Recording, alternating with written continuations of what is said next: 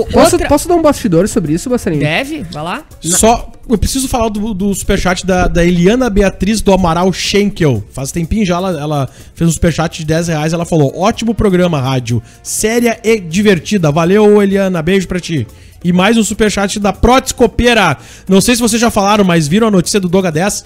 Sim, a gente viu que ele rescindiu lá com o Brasiliense por ter assinado com um clube da Libertadores, que tá jogando a Libertadores. Do GE. Ah, é? Sim. Ah, isso eu não. não Eu mandei mensagem pra ele aqui no, no Instagram da rádio, mandei uma mensagem pra ele pra ver se ele respondia, mas Agradaria ele o do... visualizou e não respondeu. Ah, é? Agradaria, falando sério, agradaria? Quer que eu responda objetivamente e alguma coisa? Pela razão ou pelo coração? Cara, acho que neste momento não. Acho não. Não. Ô meu, deixa eu ver isso aí. Tá no GE, Mário?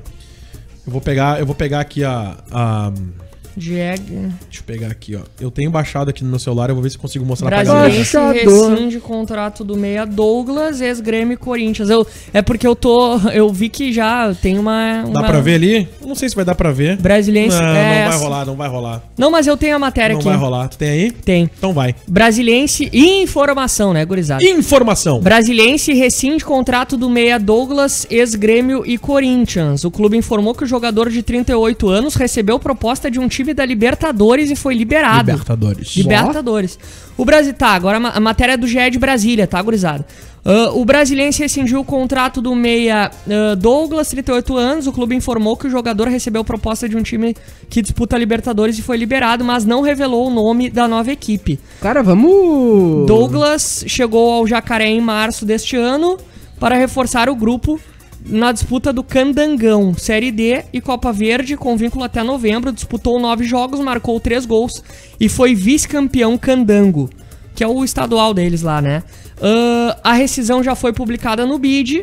E aí, enfim, a matéria faz Cara. um retrospecto da, da história dele. Times da Libertadores. É, isso. Grêmio, É, Grêmio, Internacional. Ah, mas não esqueçam que tem times que não são só do Brasil.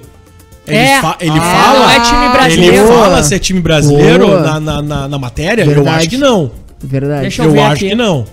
Eu o acho que clube não. informou um time da Libertadores. Ah, boa, boa, boa. Ô, ô, meu, deixa eu falar uma parada pra galera. A gente tá com quase 1.200 pessoas na live. Eu queria fazer um pedido pros gremistas da live, seja no YouTube ou aí na, na plataforma azul.